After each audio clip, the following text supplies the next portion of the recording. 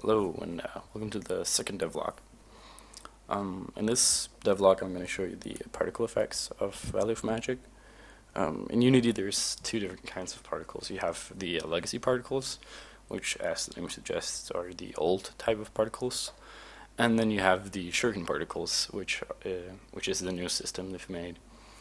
In Valley of Magic I've chosen to use the legacy particles because for whatever reason um, they're more accessible through code, the variables they have.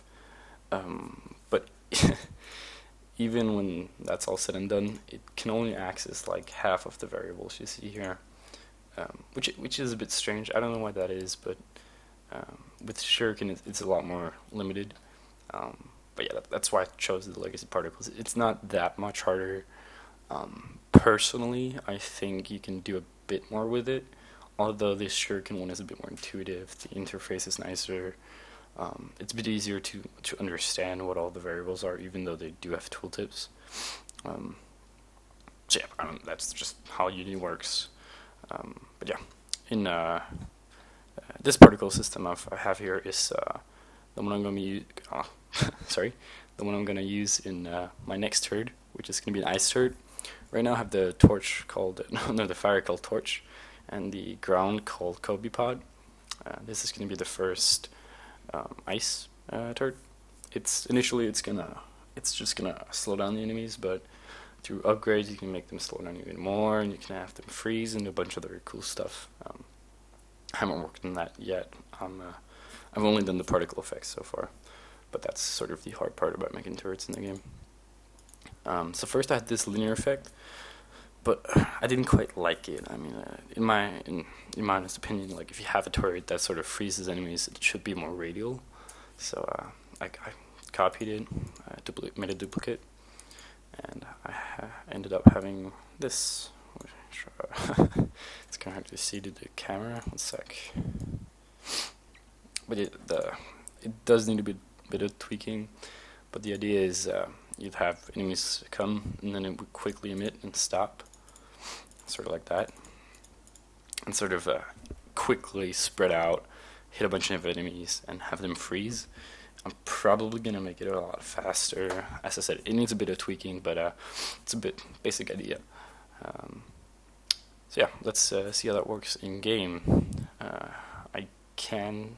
I'm not gonna put what I have so far in game. Uh, it might not quite work, but I can show you how my torch turret works. So uh, as you can tell, it also has a particle system. And uh, in game, I use what's called uh, attack script. As the name suggests, it, it, it sort of uh, deals with uh, attacking. And uh, first thing you want to do when you when you make a turret is decide whether or not it has a particle parent, which is sort of a bit of a hack. If uh, if I start emitting, you can see it. it's sort of I've manually made it uh, hit uh, a parent, which really doesn't hold anything but a position. Um, and I've done this out of just sheer laziness. Um, I didn't want to bother with having to uh, calculate where the enemy was compared to um, the particle because it, it, starts emitting here, as you can tell. Um, and I just I just didn't want to bother with that. So instead, uh, I decided that I could just take a, a box which uh, essentially stated that it uh, had a parent before it hit the, the parent that holds the upgrades and such. Uh, and yeah, it, it's it a bit, it's a bit of a hack, but it works. Uh, so I'm not going to change that, I think. But yeah, once, once that's done, that's pretty much it. Uh, it has a, a particle collider which um, once it hits the turret, it sends out a, a collision message, and uh, through that, it will then deal damage to the uh, enemy.